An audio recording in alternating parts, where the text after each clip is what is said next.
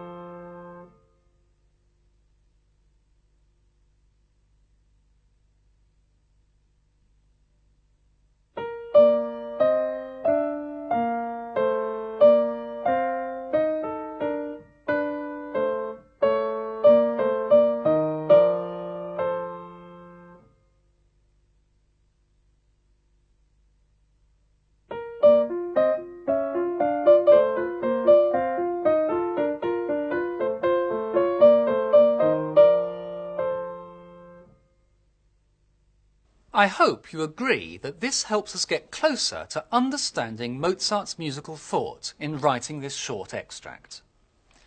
We're now almost at the end of this unit, and we've moved beyond the foreground level of analysis to something much harder to do, but also much more revealing of the composer's musical thought.